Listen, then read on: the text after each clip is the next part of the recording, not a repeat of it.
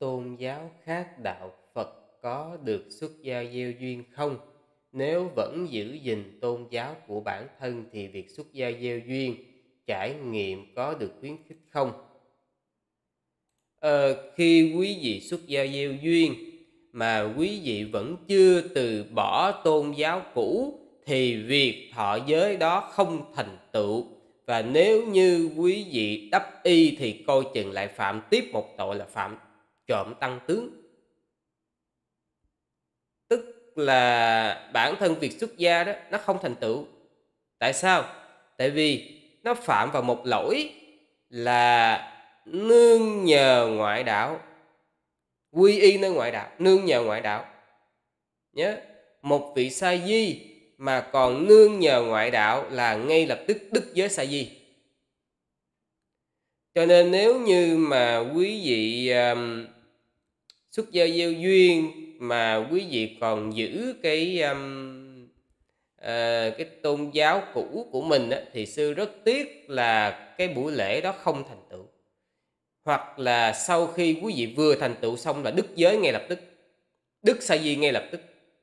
À, cho nên là nó quý vị sẽ không hưởng được những sự lợi ích trong khóa xuất gia diêu duyên chính vì như vậy sư khuyên là chúng ta nên suy nghĩ cho kỹ à, suy xét cho kỹ à, quý vị hoàn toàn có thể tham dự các khóa thiền ha.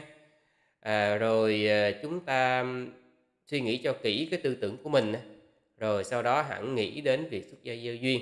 Chứ nếu không thì nó chẳng những không đem lại điều lợi ích mà nó còn đem đến điều bất lợi cho mình nữa. Không có nên.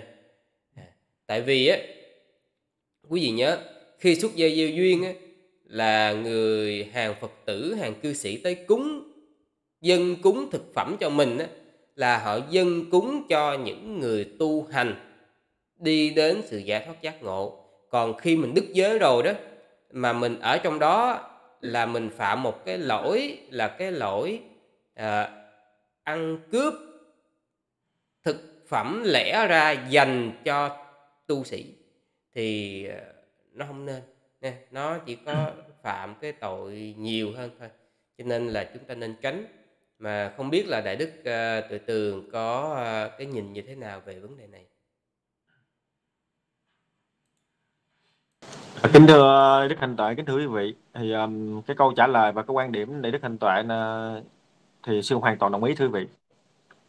Bởi vì um, để Đức Hành Tuệ trả lời rất phù hợp với tinh thần mà trong uh, tạng luật thưa quý vị. Bởi vì sao? Bởi vì quý vị biết á, là như uh, trường hợp á, um, ở trong tạng luật có ghi rất là rõ. Thí dụ một một cái người một cái người mà từ một tôn giáo khác hay sẽ nói thẳng ngoại đạo đi hay dùng ngoại từ ngoại đạo đi dễ dễ hiểu là khi mà đến mà tu thưa vị thì người đó là cũng phải biệt chú 4 tháng thưa vị bị chú 4 tháng là sao? Là để không phải là bị chú là nghe cái gì nó ghê gớm lắm. Phải cách ly này nọ giống như covid này nọ hay không phải. Đúng không? Có nghĩa là cái cái bị từ bị chú ở đây á, có nghĩa là ký nghĩa ký nghĩa chính á, có nghĩa là để kiểm tra cái cái chi kiến cái chính kiến người đó, đó. Có nghĩa là họ có cái niềm tin họ biết hiểu hiểu thế nào về Phật bảo pháp bảo tăng bảo. Đó. Um, họ có còn tà kiến không?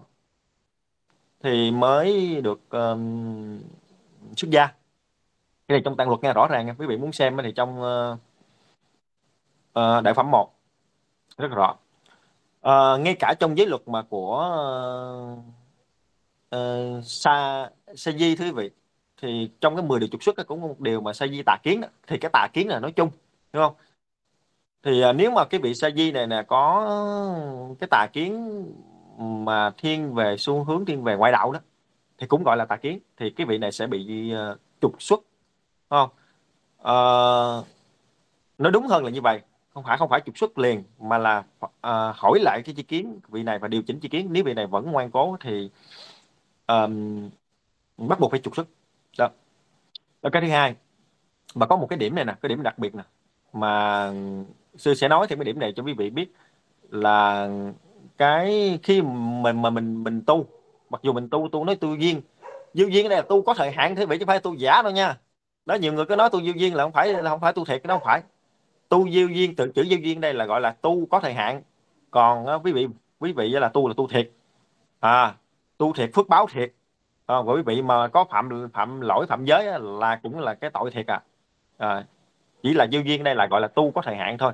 Đó còn trong cái trường ờ, tăng luật có có một cái trường hợp là như vậy nè. Quý vị biết ừ, là cái vấn đề mà gọi là mình cái chi kiến của mình đó mình hoàn toàn mình mình còn ngoại đạo mình chưa có uh, nương tựa hoàn toàn mình chưa hiểu về Phật bảo pháp bảo tăng bảo. Nó trở ngại rất là nhiều. Nếu mà quý vị á, sau này có muốn tu mà rơi vào trường hợp này á, thì sư e rất là tiếc. Tại vì nếu mà dính vào trường hợp này sẽ không có được tu luôn là trong 11 hạng người ở trong đề phẩm 1 có nói rất là rõ, trong 11 hạng người thì có một cái hạng người như vậy. Là vào lúc bấy giờ á, là có một cái người ngoại đạo đi đến nương nhờ để ờ, tu lên bậc trên, nghe là tu tỳ kheo thứ vị, tu tỳ kheo đó. đó. Thì một thời gian sau á, cái vị này nè, tu tỳ kheo nào nè, mới cải thầy mình ừ, cải thì mình giống như là thầy mình dạy là phải học kinh gì là có phải học luật gì là phải có niềm tin tam bảo này nè thì cái này đó mới cải thầy mình. Cả khi mà cải thầy mình xong á công này mới xả y và đi theo ngược lại ngoại đạo đi theo ngoại đạo. Thì khi mà cái muốn theo ngoại đạo thời gian thì cái ông này nè ổng mới quay về ổng mới xin lại tu lại xin tu lại à, xin xuất gia lại. Thì trường hợp này đức thế tôn ngài nói như thế nào? Thế tôn ngài nói là nếu mà trường hợp này là nếu mà có lỡ ngài đạo không biết nha không biết mà tu, tu cho tu cho tu rồi á thì phải trục xuất. À phải trục, trục xuất ngay không có cho không có chấp nhận những trường hợp này nữa. À, nếu mà nếu mà cho tu lên không biết thì cái phẩm hạnh nó tự đức thì nó tự đức nó không thành tựu. Thì cái vị này là nếu mà tỳ kheo thì sẽ phạm vô trộm cấp tăng tướng. Um, cho nên cái việc mà quý vị á, mà ở đây không phải nói gì nói gì khắc khe gắt gắt gì nhưng mà luật là như vậy quý vị. Cái nào cái ra cái đó hiểu không? Đây sư chỉ nói trong trong luật lời Phật dạy thôi thì nói thôi. Chứ được ở đây nó rõ nha sư không có nói tiêu tư kiến nha. Quý vị xem có xem lời sư nói đúng không thì xem cái ờ, đại phẩm một á. Trong tăng luật á, thì rất là rõ. Ở đây thì sư xin nói thêm một cái phần này. Ở trong tăng chi um, trong cái những cái pháp gọi là um, Ờ, những cái tội á, gọi là những cái những cái cái, cái tội hay là những cái ờ, uh, nó rõ hơn là uh, sáu cái điều này nè sáu cái điều này nè thì một cái vị mình là là tu đồ hồn thì không có phạm đúng không? Sáu cái điều trọng này là tội trọng này. thì là như năm cái tội đầu quý vị biết cũng cái tội đó giết mẹ giết cha giết la hán làm chạy bóng phật chỉ đã tăng đoàn đúng không ạ? Thì có có một cái điều điều thứ sáu mình mà sư đọc trong tăng chi cái tăng chi á, mà sư rất là lưu tâm đó là gì? Điều sáu là gì? Xu hướng ngoại đạo đó. Đó là sáu tội trọng mà bậc tu đồ hồn không có phạm. Mà riêng cái điều thứ sáu quý vị biết đó, là cái xu hướng theo ngoài đạo. Đó, cho nên là nếu quý vị không chỉ cái vị này mà nhiều vị khác mình có muốn uh, tu duyên duyên hay là muốn tu luôn thì uh, mình phải nắm rõ luật thôi vị. Nắm rõ luật. Để khi mà mình hiểu rõ hiểu điều thế tôn dạy trong chánh kinh đó là như thế nào thì mình biết để mình uh, mình tu á nó đúng đắn nó thành tựu.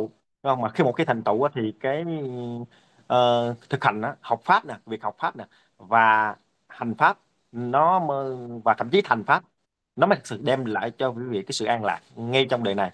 Đúng không? Và những cái đời sau đó là điều rất quan trọng mà chúng ta phải nắm rõ được. Đó là cái điều mà sư muốn nhắn gửi cho quý vị quý vị hiểu rõ. À, chứ không ở đây không phải nói để cho gây gắt như nặng nề vậy nha tại vì điều sư nói vừa rồi là trong luật luật sao sư nói y như vậy à, à cũng xin kết thúc bằng trả lời câu hỏi này. Chúng ta qua câu hỏi tiếp theo